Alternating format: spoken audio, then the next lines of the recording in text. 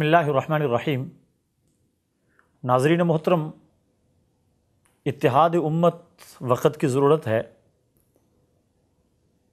اور اس اتحاد امت کے کیا فوائد ہیں اور اتحاد امت نہ ہونے کی کیا کیا نقصانات ہیں، وہ پوری امت نے اپنی آنکھوں کے ساتھ دیکھ لیے ہیں۔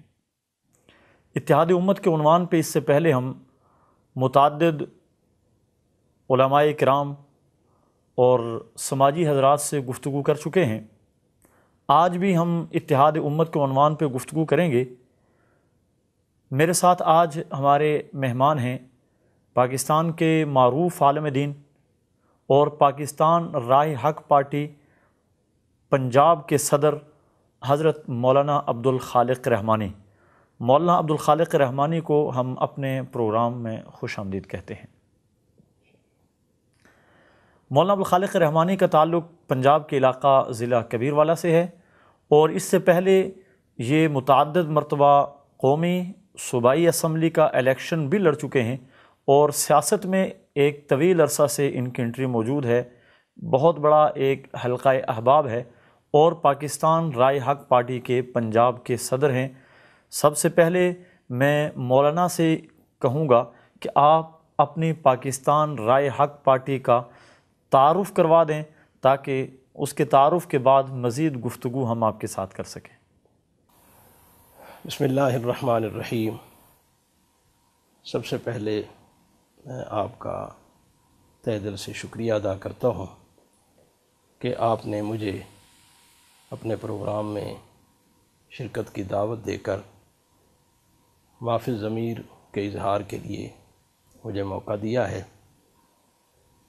پاکستان راہ حق پارٹی جو ایک عرصہ دراز سے پاکستان میں سیاسی جد وجہد کر رہی ہے اور پاکستان رائے حق پارٹی پاکستان کے قانون اور آئین کے مطابق باقاعدہ الیکشن کمیشن سے ایک رجسٹر پارٹی ہے اور پاکستان رائے حق پارٹی کے چیئرمین اور ہمارے مرکزی صدر جناب ابراہیم قاسمی صاحب، جو پہلے خیبر پختونخوان سے صوبائی اسمبلی کے ممبر رہ چکے ہیں اور انہوں نے بڑی صاف شفاف اور اسلامی اصولوں کے مطابق دیانت اور امانت کے ساتھ صوبائی اسمبلی میں جو کردار ادا کیا ہے اس کی وجہ سے پاکستان رائے حق پارٹی معرض وجود میں آئی ہے اور ہم نے ضرورت محسوس کی ہے کہ اگر پاکستان میں اسی طرح سیاسی اور سماجی حوالے سے عوام کی خدمت، دیانتداری امانت داری اور غریب عوام کے حقوق کو صحیح معنی میں سمجھتے ہوئے اگر سیاسی جد و جہد کی جائے تو پاکستان میں ایک انقلاب برپا ہو سکتا ہے اور پاکستان ایک فلاحی مملکت، جو پاکستان میں ایک نعرے کی بنیاد پر پاکستان جو قائم ہوا ہے دنیا کے خطے پر، اس میں ایک بڑی تبدیلی آ سکتی ہے۔ تو اسی حوالہ سے پاکستان رائے حق پارٹی کو باقاعدہ رجسٹر کروایا گیا۔ مولانا، میرا سوال آپ سے یہ ہے کہ آپ کی پاکستان رائے حق پارٹی کیا کسی مذہبی یا کسی دوسری تنظیم کی کوئی ذیلی شاخ ہے، ذیلی تنظیم ہے یا یہ کوئی باقاعدہ الگ سے ایک سیاسی پارٹی ہے؟ پاکستان رائے حق پارٹی کسی سیاسی یا مذہبی جماعت کی کوئی ذیلی تنظیم نہیں ہے۔ باقاعدہ ایک پارٹی ہے اور پاکستان میں جس طرح Muslim League, Peoples Party, P T I اور دیگر جو جماعتیں ہیں اسی طرح کی پاکستان رائے حق پارٹی ایک الگ سیاسی جماعت ہے۔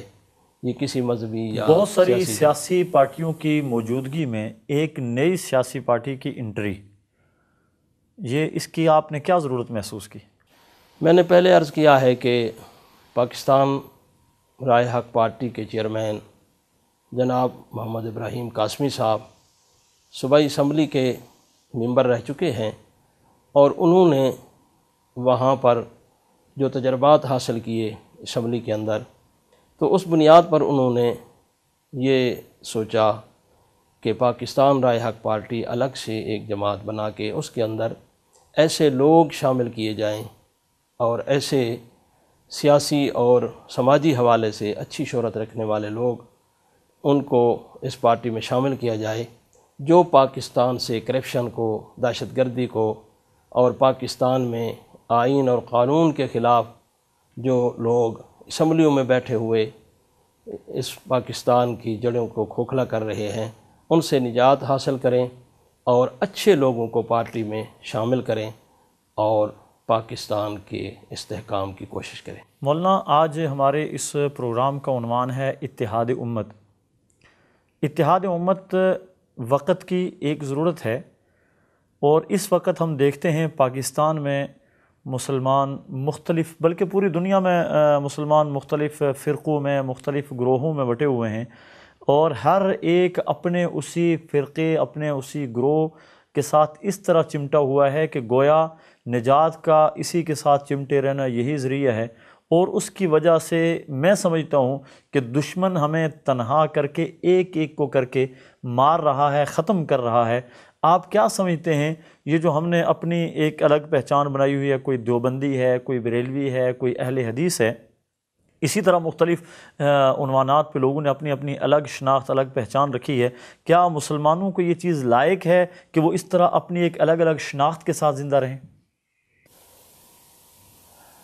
بہت اچھا آپ نے عنوان، اتحاد امت کے عنوان سے جو قاری ناظرین کے لیے انتخاب کیا ہے۔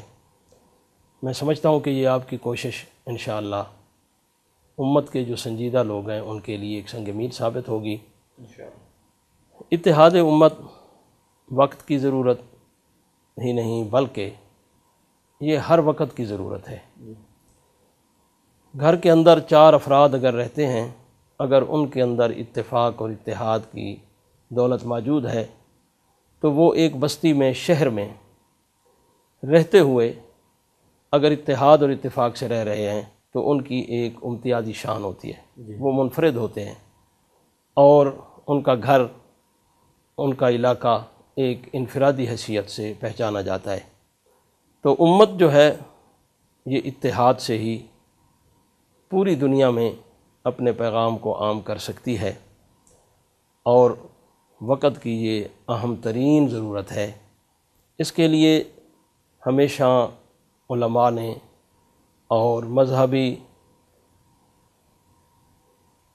جوش و خروش رکھنے والے لوگ، میں سمجھتا ہوں، مذہب کے حوالے سے جن کو بہت زیادہ ہمدردی ہے، انہوں نے ہمیشہ کوشش کی ہے کہ امت کے لیے وحدت کا پیغام قائم کیا جائے اور ایک لیکن مولانا یہاں معذرت، قطع کلامی معاف کرنا ایک طرف آپ نے کہا کہ کچھ علماء جو سنجیدہ علماء ہیں انہوں نے وحدت کا پیغام دیا۔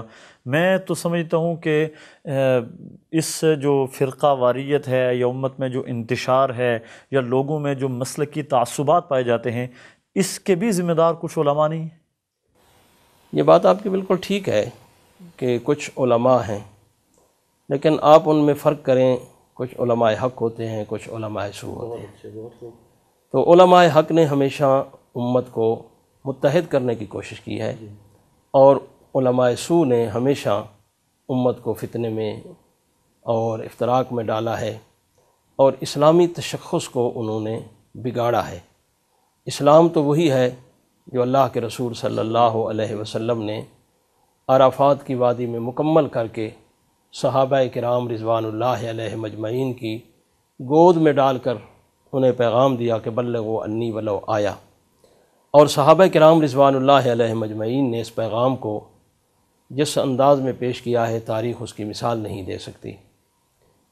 حتیٰ کہ یہاں تک تاریخ نے کہا ہے کہ جناب سیدنا امیر معاویہ رضی اللہ تعالیٰ عنہ کے دور میں صحابی رسول نے گھوڑے کو ایڑی لگائی اور سمندر کے سینے پر اسے کھڑا کر دیا۔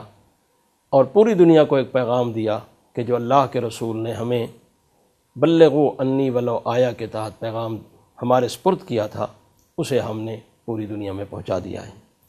یعنی پہلی صدی میں ہی اسلام کا پیغام پوری دنیا میں پہنچ گیا۔ اور خلفۂ راشدین کا دور دیکھیں یا مسلم حکمران جو گزرے ہیں، جو فاتح ہوئے ہیں، جنہوں نے پوری دنیا کے کفر کو للکارا ہے اور اسے لرزہ برندام کیا ہے تو وہ لوگ وحدت امت کی وجہ سے ہی اس نتیجے پر پہنچے ہیں اور فاتح بنے ہیں۔ آج پوری دنیا کے حکمران جو مختلف کفریہ طاقتوں کے اعلی کار بنے ہوئے ہیں، ان کی وجہ سے امت کے اندر افطراک ہے اور پوری دنیا کے مسلمان بے چین ہیں۔ میں سمجھتا ہوں کہ قیادت جو ہے، اگر اس میں سنجیدگی اختیار کرے، علماء حق تو ہمیشہ کوشش کرتے ہیں۔ لیکن اقتدار پر بیٹھنے والے اور ریاستوں کے جو والی ہیں، جو مسلم حکمران کہلاتے ہیں، اگر وہ اس وحدت میں شریک ہو جائیں اور پوری دنیا کے مسلم حکمران متحد ہو جائیں، تو پھر حکمرانوں کی اس کاوش کے نتیجے میں، علماء حقہ کی قیادت جو ہے، کاوش کے نتیجے میں پوری دنیا کے مسلمان متحد ہو جائیں گے اور کفر کے لیے پیغام موت ہو گئے۔ مولانا، پاکستان لا الہ الا اللہ کی بنیاد پر معرض وجود میں آیا ہے۔ آج ہم مختلف اطراف سے آوازیں سنائی دے رہی ہیں۔ ہمیں، ہم سنتے ہیں آوازوں کو کہ پاکستان اسلام کے نام پر نہیں بنایا گیا، لا الہ الا اللہ کے نام پر نہیں بنایا گیا۔ پاکستان کو ہم کیمونسٹ ریاست بنا دیں گے۔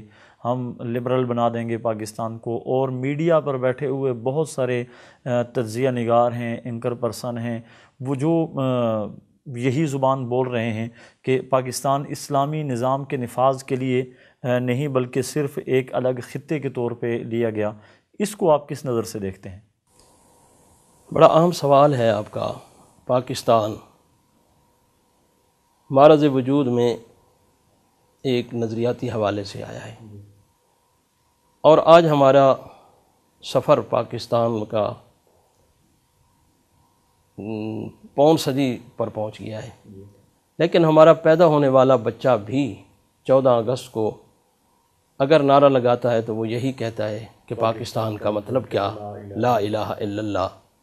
اس کا مطلب یہ ہے کہ قائد اعظم محمد علی جناح کی کاوش اور علامہ اقبال کے خواب کی جو تعبیر تھی وہ لا الہ الا اللہ ہی تھی۔ جس طرح آپ نے فرمایا کہ میڈیا پر بیٹھنے والے جو کفری طاقتوں کے اعلی کار ہیں یا پاکستان کے اسلامی تشخص کو ختم کرنے کے پروگرام کے تحت وہ میڈیا پر جو گفتگو کرتے ہیں، ان کی کاوش کوشش یہی ہے کہ پاکستان کو اسلامی نظریاتی مملکت کے طور پر نہیں، بلکہ ایک سیکولر قسم کی ریاست سمجھنا، بنانا چاہیے یا قوم کے ذہن میں ڈالنا چاہیے۔ لیکن میں یہ بات کہنا ضروری سمجھوں گا کہ جہاں پر قائد اعظم محمد علی جناح اور علامہ اقبال جیسے لوگوں کی محنت اور کاوش ہے، وہاں پر علماء کی محنت اور کاوش بھی موجود ہے۔ جس کا اعتراف قائد اعظم محمد علی جناح نے علامہ شبیر احمد عثمانی کے ہاتھ سے پرچم لہروا کے انہوں نے کیا کہ یہ بھی ہماری تحریک کا ایک حصہ تھے۔ بلکہ تحریک کے رہنماؤں میں یہ لوگ شامل تھے۔ تو انشاءاللہ پاکستان کے اسلامی تشخص کو دنیا کی کوئی طاقت ختم نہیں کر سکتی۔ اور اگر پاکستان میں اچھی قیادت آ جائے اور پاکستان کی عوام کے اندر شعور بیدار کر دیا جائے اور پاکستان میں جو عالمی طاقتوں کا ایک پیدا کردہ انتشار ہے جو دہشت گردی کی شکل میں ہمارے ملک پر مسلط کیا گیا ہے، جس پر میں سمجھتا ہوں کہ کافی حد تک عسکری قیادت نے کنٹرول کر لیا ہے۔ اگر اس کو باقاعدہ کنٹرول کر لیا جائے تو پاکستان پوری دنیا میں، اسلامی دنیا میں ایک قیادت کا کردار ادا کر سکتا ہے۔ اور پاکستان انشاءاللہ لا الہ الا اللہ کے نام پر بنا ہے اور اس کا تشخص، یہی نظریاتی تشخص ہی رہے گا۔ اور جو لوگ اس کو مٹانے کی کوشش کر رہے ہیں، پاکستان میں جیسے بات لمبی نہ ہو جائے، جس طرح پاکستان کے اندر جماعتیں جو ہے مہاراج وجود میں آتی ہیں اور ان کے اغراض و مقاصد ہوتے ہیں۔ ہمارے ملک کے اندر کچھ دن پہلے ایک ایسا ڈرامہ رچایا گیا کہ ہماری بچیوں کو ایک دھرنے کے نام پر اکٹھا کیا گیا۔ وہاں پر جو ہماری تہذیب کا قتل عام کیا گیا۔ تو میں سمجھتا ہوں کہ باشعور لوگ پاکستان کے اور کوئی سمجھ سوچ رکھنے والے لوگوں نے اسے اچھا نہیں سمجھا۔ تو پاکستان راہ حق پارٹی کا مارض وجود میں آنا بھی اسی مقصد کے لیے ہے کہ ہم پاکستانی عوام کے اندر وہ شعور بیدار کریں جو قائد اعظم محمد علی جناح اور علامہ محمد اقبال رحمہ اللہ نے شعور بیدار کیا تھا۔ اسی کی بنیاد پر ہمارے پاکستان کا اسلامی تشخص ہونا چاہیے۔ مولانا، اس وقت پاکستان سمیت پوری دنیا دہشت گردی کی لپیٹ میں ہے اور دہشت گردی کی لپیٹ میں زیادہ تر اسلامی ممالک ہیں۔ اور اس وقت اسلامی دعوے دار اسلام کے دعوے دار باقاعدہ دو حصوں میں، دو بیلٹوں میں تقسیم ہو چکے ہیں۔ ایک شیعہ بیلٹ ایک سنی بیلٹ اور سنی بیلٹ کی قیادت کے بارے میں یہ سمجھا جا رہا ہے کہ سعودیہ اس بیلٹ کی قیادت کر رہا ہے اور شیعہ بیلٹ جو ہے اس کی ایران قیادت کر رہا ہے۔ شیعہ ممالک کو یا شیعہ افراد کو ایران اپنے مقاصد کے لیے اور سنی ممالک اور سنی افراد کو سعودیہ اپنے مقاصد کے لیے استعمال کر رہا ہے۔ یہ دو حصوں میں بٹ جانا، اس کو آپ کس نظر سے دیکھتے ہیں؟ اور آپ کے خیال میں کیا یہ ایک اچھا وہ ہے؟ دیکھو، آپ نے سعودیہ کی بات بھی کی ہے اور ایران کی بات بھی کی ہے۔ اس میں کوئی شک نہیں ہے کہ سعودیہ ایک ایسا ملک ہے کہ جس کے اندر مکت المکرمہ اور مدینہ منورہ ہیں۔ بیت اللہ اللہ کا گھر بھی یہاں ہے اور رسول اللہ صلی اللہ علیہ وسلم کا روزہ اقدس بھی ہے۔ لیکن ہم نے شعوری زندگی میں دیکھا ہے کہ سعودیہ نے کبھی بھی دنیا کے اندر فرقہ وارانہ معاملات میں مداخلت نہیں کی ہے اور نہ فرقہ وریت پھیلائی ہے۔ حالانکہ دین کا مرکز سعودیہ ہی ہے اور پوری دنیا کے مسلمانوں کی قیادت بھی سعودیہ ہی کر رہا ہے۔ انہوں نے اسلام اور اسلامی نظریات کی بات کی ہے ہمیشہ اور پوری دنیا کے مسلمانوں، حکمرانوں کو ایک جگہ جمع کرنے کی کوشش کی ہے۔ لیکن ایران میں باقاعدہ ایک انقلاب جو شیعہ حوالے سے لایا گیا، اس کے انقلاب کے بعد پوری دنیا کے اندر فرقہ وریت پھیلائی گئی ہے اور اس کے اندر ایران نے قیادت کی ہے، اس کے لیے وسائل پیدا کیے ہیں۔ شیعہ سنی یا سنی شیعہ مسئلہ، ہم نے جو شعور کی آنکھ سے دیکھا ہے، پہلے تھا لیکن پرتشدد نہیں تھا۔ ایرانی انقلاب کے بعد اس میں تشدد کا عنصر شامل ہوا ہے اور اس وقت باقاعدہ پوری دنیا کے اندر، صرف پاکستان ہی نہیں بلکہ پوری دنیا کے اندر سنی شیعہ ایک مسئلہ ہے۔ لیکن اس میں ایران باقاعدہ ملوث ہے اور اس کے شواہدات موجود ہیں۔ سعودیہ اس میں اس طرح ملوث نہیں ہے۔ لیکن ایک بات میں کہنا ضروری سمجھوں گا۔